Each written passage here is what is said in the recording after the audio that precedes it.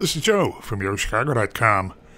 I'm headed to a Steps from Everything location where River North meets the Gold Coast for a walk through one of the apartments at 23 West, one of three rental offerings that enjoy the fabulous amenities at the all new One Chicago. I'm at apartment 602, a one bedroom, looking north over Chicago Avenue. Turning into a great volume of space. Ceiling soaring up above 10 feet. Wide pond plank flooring throughout the apartment. Looking at an Ecobee thermostat, in-unit washer dryer, kitchen with a dark stainless steel appliance package that includes a French door refrigerator with ice and water in the door, a four burner gas range, built-in microwave and dishwasher.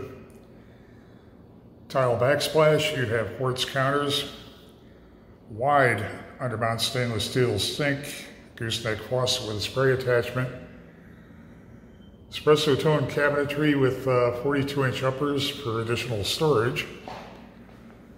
Okay, a coat closet, undermount dishwasher, of course. Direct lighting up above the kitchen. High windows with roller blinds. Looking at the entryway and the door to the bath. There's a tandem entry, so I'll come back to it. Turning into the bedroom, floor to ceiling windows, space to accommodate any size bedding and additional furniture. Corner for your home office desk. It's a walk-through closet with shelving on both sides heading into the bath. Bath has attractive dark white veined tile on the floor and the shower surround.